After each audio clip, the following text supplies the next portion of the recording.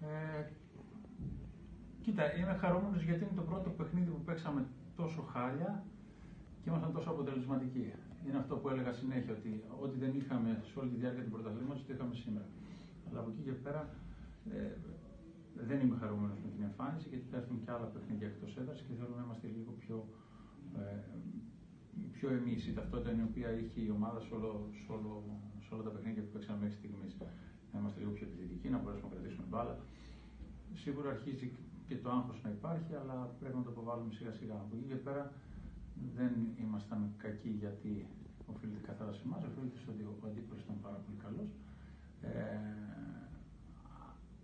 αν μπορώ να πω ότι κάποιος άξιζε κάτι παραπάνω, είναι ο αντίπαλος και όχι, και όχι εμείς. Απλά αυτό που είπα. Ήμασταν πιο αποτελεσματικοί ε, σε ό,τι δημιουργήσαμε και καταφέραμε να πήραμε την νίκη. Ευχαριστημένο σίγουρα αυτό που είπα. Είμαι μόνο με το αποτέλεσμα και με την εμφάνιση. Αλλά δικαιολογείται η ομάδα από την άποψη ότι αν πιάσω όλα τα παιχνίδια που έχουμε παίξει μέχρι στιγμής, ε, είναι λίγα τα παιχνίδια τα οποία έχουμε, ε, έχουμε παίξει ε, άσχημα. Άρα ε, το να μπορέσεις να κερδίζεις και όταν δεν είσαι καλός είναι και αυτό κάτι πάρα πολύ θετικό. Ε, σίγουρα είμαστε κουρασμένοι γιατί είχαμε τρία μάτια μέσα στην εβδομάδα, γιατί είχαμε και το μάτι Κυπέλο που ήταν με ένα δύσκολο αντίπαλο που εκεί. Οπότε και έχουμε και την Τετάρτη, άρα πρέπει να διαχειριστούμε και το ρόστερ και είχαμε και κάποιες ελλείψεις, αλλά από εκεί πέρα αυτό που είπα. Είμαι, είμαι ευχαριστημένος από το αποτέλεσμα και ε, δυστυχώς θα το πω όπως είπα. Ε, ξέρω ότι στεναχωριέται που το, που το λέω, το είχα πει και στην πρώτη αγωνιστική που παίξαμε.